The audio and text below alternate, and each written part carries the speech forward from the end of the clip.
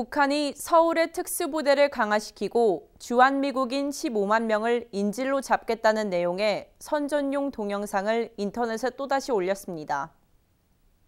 북한의 인터넷 선전 매체인 우리민족끼리가 3일 만에 끝날 단기 속결전이란 제목으로 자체 웹사이트에 공개한 4분가량의 영상은 대포와 로켓 연사 장면으로 시작해 지상과 공중에서 대규모 공격을 감행하며 국경을 넘는 북한군의 모습이 담겨 있습니다.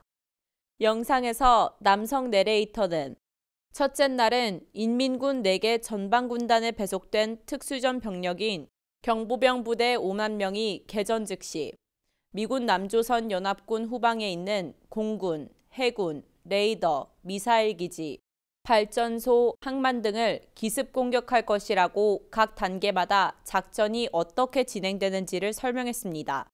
둘째 날에는 인민군 4개 기계화 군단은 전차 4,600대와 장갑차 3,000대를 몰고 물밀듯이 밀고 내려갈 것이다. 셋째 날에는 서울을 비롯한 도시들이 극심한 혼란을 겪을 것이라고 말했습니다.